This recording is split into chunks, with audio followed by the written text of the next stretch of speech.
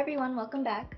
So today I'm going to be doing another Dark Academia lookbook because you guys really liked the first video. So today's focus is going to be on how you can wear a Dark Academia into the summer since it's definitely more of a fall winter wardrobe by nature but the temperature is rising and I really want to see how we can make this aesthetic work in warmer weather. So I have a few outfits to show you so let's get started. For my first outfit, I'm wearing a black scrunch headband with a short sleeve mock neck top and pairing that with these dark gray plaid shorts, which were actually originally pants, but I didn't like how they fit as pants, so I cut them into shorts. And I'm wearing all this with some thigh-high socks and Doc Marten Polleys.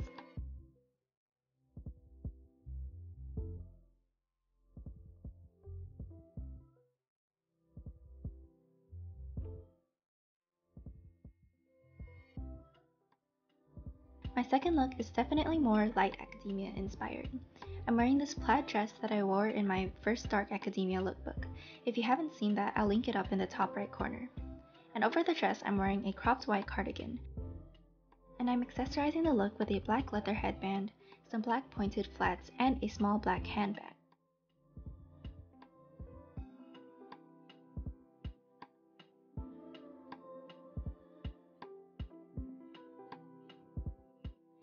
Then I'm swapping out the cardigan for the black mock neck top again and making it look like I'm wearing a skirt instead of a dress. I'm also swapping out the flats for my Doc Martens again.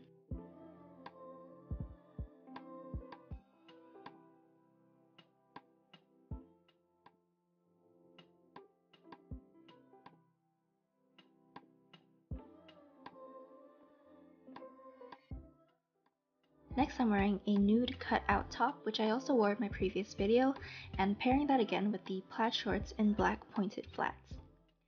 I apologize if it's repetitive since I'm wearing a lot of stuff from the previous video, but I'm really trying not to buy more clothes and I'm trying to show how you can come up with outfits from what you already have.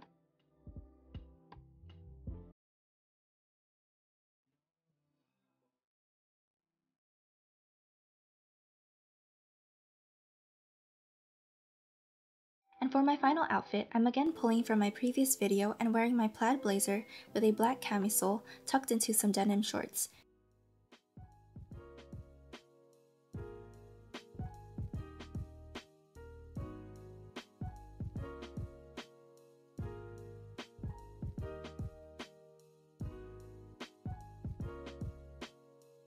And again wearing my docs.